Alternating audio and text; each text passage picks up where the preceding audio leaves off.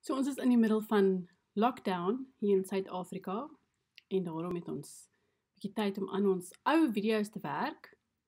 En laasweek het ek op die YouTube channel bietjie gewys wat ons in Pretoria gedoen het. Ons stoorkamer opgepak ensovoorts. En in hierdie video doen ons bietjie sightseeing.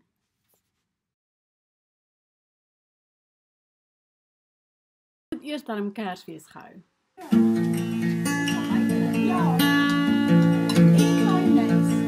Thank you.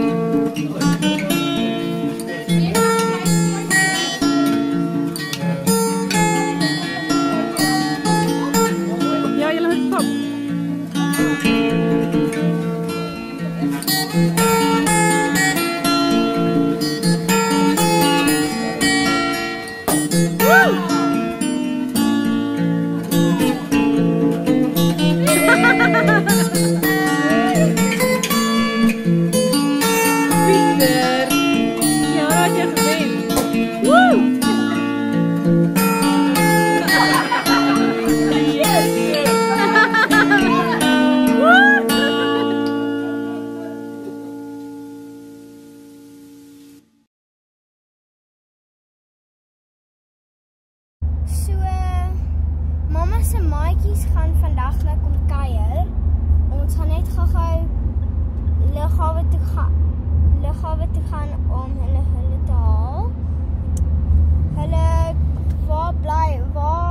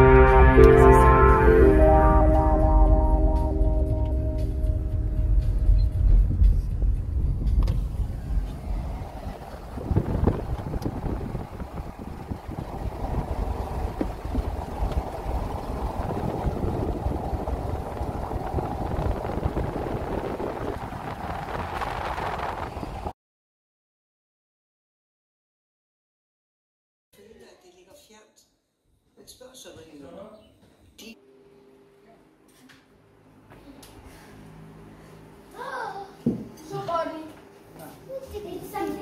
Heb je er van het eh, okstel gemaakt?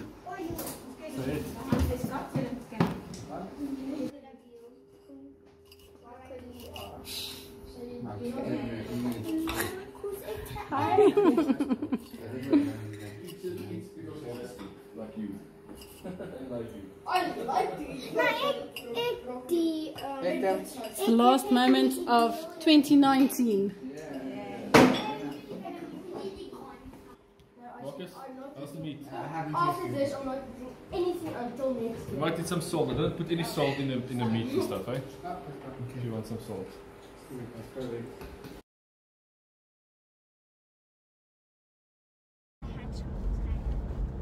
So ons gaan nou by die kortste bergpas opry van Suid-Afrika.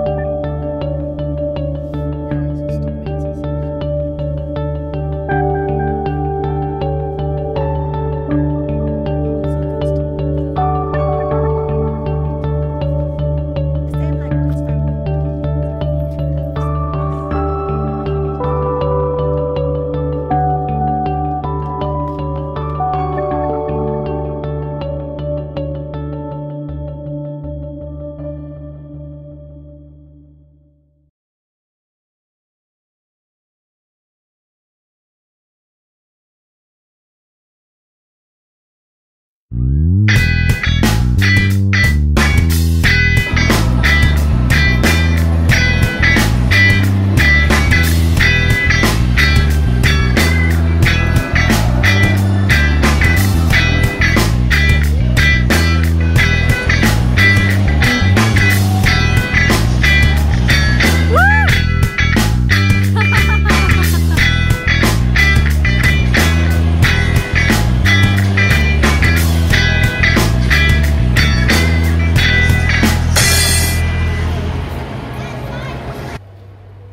Sharma het 'n blaasie op haar voet.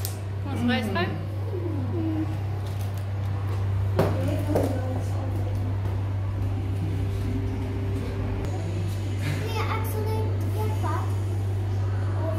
vat. Twee pare. Dan sy lekker dik.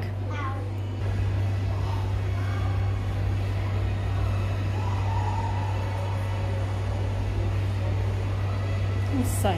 Sê dankie Tannie.